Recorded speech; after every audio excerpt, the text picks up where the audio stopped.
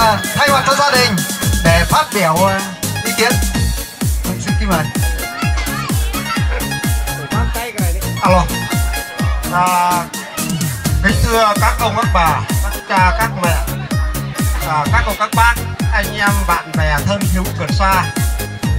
À, hôm nay ngày lành tháng tốt được sự cho phép của ông bà bông và hai vợ chồng trẻ chúng tôi tổ chức ngày lễ tạ ơn ngày lễ tạ ơn cho ông bà.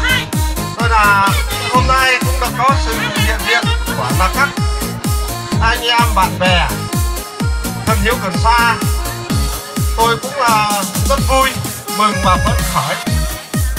Hai nữa là tôi cũng xin chúc các ông, các bà, các cha, các mẹ, anh em bạn bè thân hữu gần xa. Đầu xuân năm mới